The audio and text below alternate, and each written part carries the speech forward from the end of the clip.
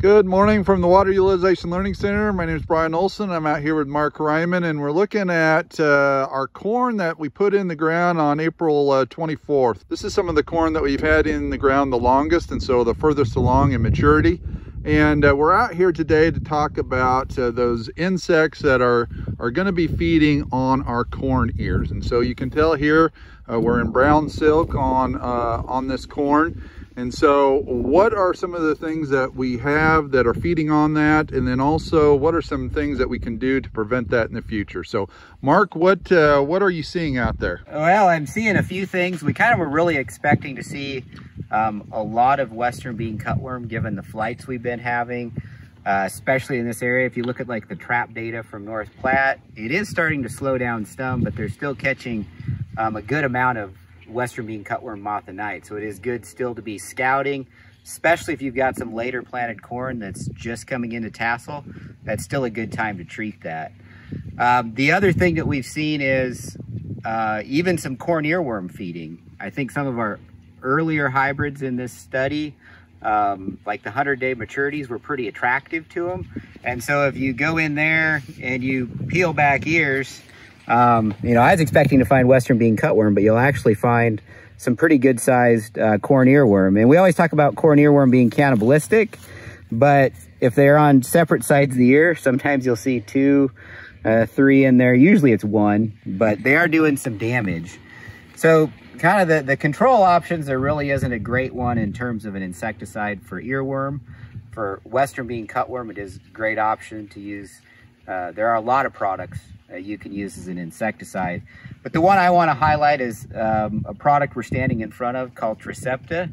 Um, it does a great job uh, taking care of the ears from western bean cutworm and then also corn earworm and other ear pests. And so if you go through there, of course, and you peel back the ears, um, you know, you're really not going to find any of that tip feeding on there uh, any damage to those kernels. So highly effective.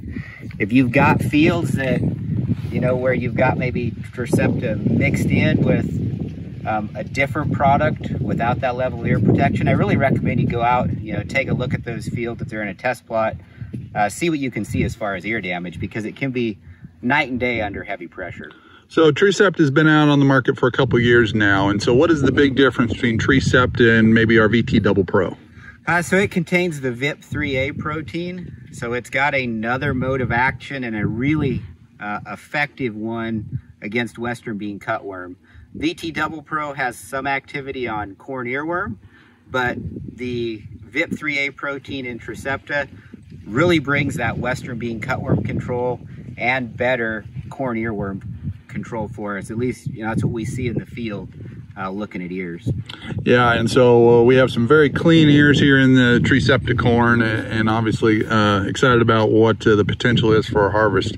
Uh, when we look at something outside of the corn earworms, this is also a good time to be uh, scouting now for beetles, right? Yeah, so it's a great time to be looking for, eh, for us in particular, western corn rootworm beetles. if you know what you're planning to do on, you know, corn acres next year, or you're seeing some beetles out there in the field, it's a good time to go scout, especially if you plan on planting corn the next year. It'll give you a good indication of what to do uh, out there in the field. And there's a variety of ways of scouting. Um, you can look at the whole plant and count the beetles.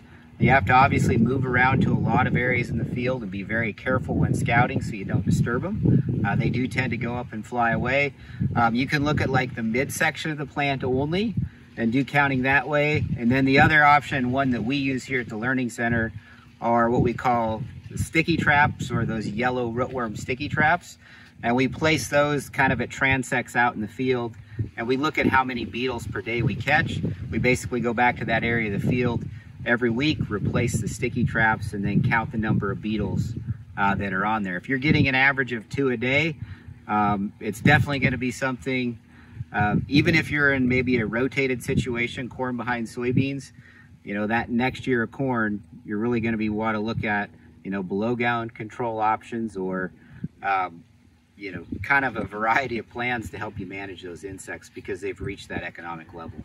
So now is a great time to get out there and see what uh, you have out there in your corn, what's feeding on those ears. Do you need to move to something like a tree? And then also back to the corn rootworm beetle. Uh, what is the activity and how many beetles are out there? Uh, we have had some uh, variability and some control. Uh, so it's important that uh, folks are out there really scouting to see what is going on uh, in those fields and do they need to come in there and beetle bomb them to knock down that pressure. So with that, we'll talk to you in the future about other agronomic topics from the Learning Center. Thank you. Thanks for watching this video from the Gothenburg Water Utilization Learning Center. For more information, please call 308 537 4500.